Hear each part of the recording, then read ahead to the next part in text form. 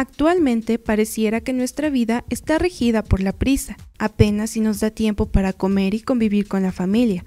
Pareciera que por más que corramos, el tiempo va más rápido y nos es imposible hacerlo rendir. Por ello, en muchas ocasiones dejamos de lado eventos importantes, y uno de ellos es mantener nuestra salud.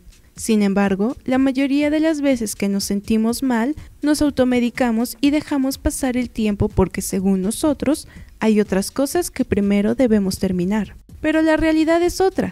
Si no gozamos de salud, ¿cómo podremos realizar todas esas actividades que hemos planeado? ¿Cómo podremos trabajar para sustentar el gasto familiar? ¿Cómo podremos disfrutar de ese pequeño instante que compartimos con la familia? A veces lo olvidamos, tanto que esperamos ir al doctor hasta que ya nos encontramos graves o no hay remedio para ese malestar. Por ello, Hacerse una revisión médica periódicamente es primordial para mantener el ritmo que ahora llevamos. Además, es un método preventivo de posibles enfermedades que si se detectan a tiempo pueden evitarse o tratarse con adecuados tratamientos, sin la necesidad de caer en cama o llegar a una operación. Una revisión médica consta de justamente de una revisión del estado de nuestra salud tanto física, psicológica como social, entre los que destacan la exploración física, los datos y antecedentes personales, pruebas de sangre y orina, electrocardiograma, control de visión, audiometría y exploraciones complementarias según la edad,